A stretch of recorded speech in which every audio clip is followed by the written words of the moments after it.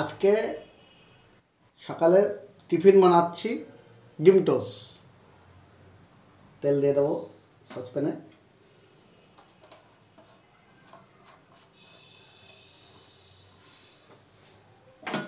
তেলটা আমি গরম করে নেব ভালো করে।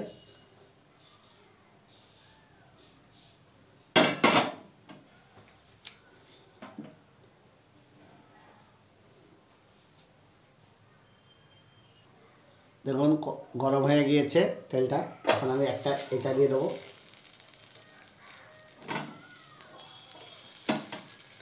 দিয়ে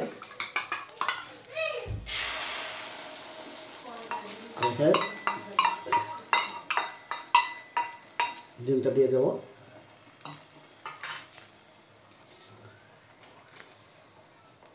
কিছুক্ষণ ভাজ, ভাজতে হবে।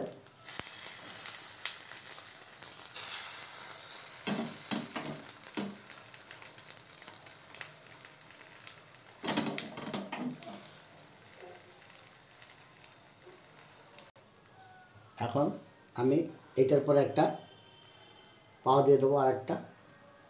দিয়ে এটা ভালো করে চিপে দেবো।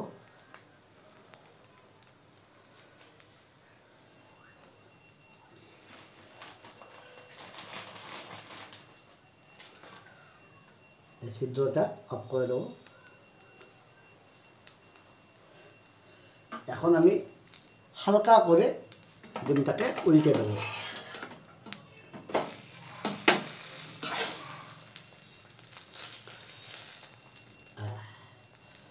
দিয়ে ভালো করে আমি ভেজে নেব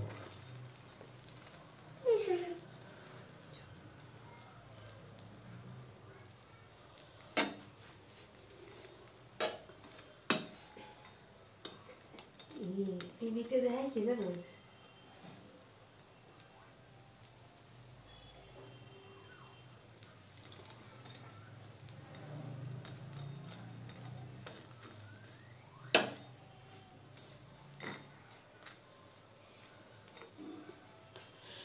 আমার ভাজা প্রায় শেষের পথে। দেখুন, দুপাশে কত সুন্দর ভাজা হয়ে গিয়েছে। এখন মাঝখানে যে নরম ভাবটা ছিল, সেটা আর নেই। এখন শক্ত হয়ে গিয়েছে।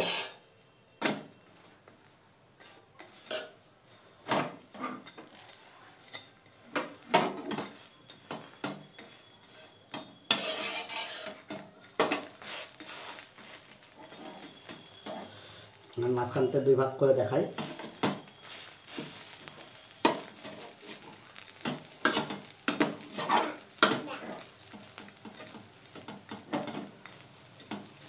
হয়ে গেল, ভাজা তৈরি হয়ে গেল। সকালের একদম সহজ উপায়ে রুটি দিয়ে স্যান্ডউইচ, ডিম স্যান্ডউইচ।